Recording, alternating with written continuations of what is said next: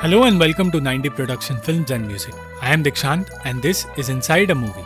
अगर आप इस चैनल पर नए आए हैं तो चैनल को सब्सक्राइब करना और बेल आइकन दबाना मत भूलना सत्यजीत रे एक ऐसे फ़िल्म मेकर हैं, जिन्हें किसी इंट्रोडक्शन की ज़रूरत नहीं और उनकी बनाई फ़िल्में दुनिया की सबसे बेहतरीन फ़िल्मों में जानी जाती हैं और उनकी फ़िल्मों में से एक है सत्यजीत रे की बनाई शॉर्ट फ़िल्म टू जिसके 16 एम प्रिंट को अकेडमी अवार्ड्स ने रिस्टोर किया जिस वजह से वो फ़िल्म अब हर किसी के देखने के लिए अवेलेबल है।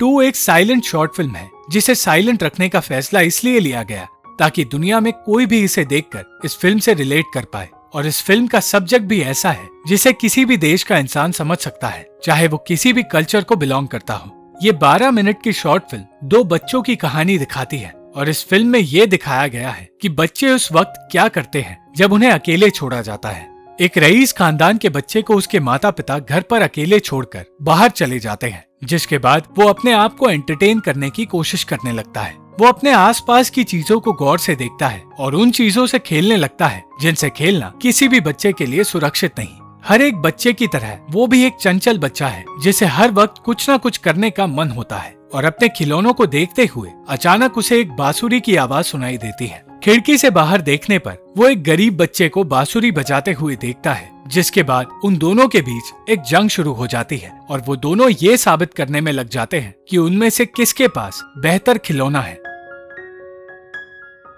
ये जंग बहुत देर तक चलती है, पर जैसा कि हमने एक्सपेक्ट किया था, उस गरीब बच्चे के पास उतने खिलौने नहीं थे, जितने उस अमीर बच्चे के पास है, और निराश होकर वो गरीब बच्चा अपने घर चला जाता है। ये सोचकर कि वो जंग जीत चुका है। बंगले में रह रहा बच्चा खुशी खुशी अपने घर में सैर करने लगता है, पर फिर उसे एक पतंग दिखाई देती है, जिसे वो दूसरा बच्चा मज़े से उड़ा रहा है, और इस बात से परेशान होकर वो अमीर बच्चा उस पतंग को गिराने की कोशिश करने लगा। जब वो पतंग को गिराने में नाकामयाब रहा तो उसने अपने घर में रखी एयर गन से उस पतंग पर गोली चला दी और दूसरे बच्चे की खुशी उसने कुचल दी। ये सब कुछ देखने में तो दो बच्चों के बीच का एक मासूम कंपटीशन लगता है, पर फ़र्क उन दोनों बच्चों की नीयत में है। उस अमीर बच्चे के लिए ये जंग घमंड की जंग है, जहाँ वो अपने से नीचे दर्जे के लोगों को कुचलना चाहता है। और उस गरीब बच्चे के लिए ये जंग सिर्फ़ ज़िंदा रहने की और अमीरों के आगे टिकने की जंग है। उस अमीर बच्चे ने चाहे दूसरे बच्चे की पतंग को कुचल दिया हो, पर उसके इस जुल्म के बावजूद वो उस गरीब बच्चे की हिम्मत को नहीं कुचल पाया और वो बच्चा फिर से अपनी बांसुरी लेकर उसे बजाने लगा। अंत में उस गरीब बच्चे की हिम्मत से हार कर वो अमीर बच्चा अकेले अपने घर में बैठा रहा और शायद उसे अपने किए पर पछतावा भी होने लगा। ये फ़िल्म वियतनाम वॉर के दौरान बनाई गई थी और कई लोग इस फ़िल्म को एक एंटी वॉर फ़िल्म की तरह भी देखते हैं, जहाँ वो अमीर बच्चा अमेरिका के उस दौर के जुल्म को दिखाता है और वो गरीब बच्चा वियतनाम की ज़िंदा रहने की लड़ाई को,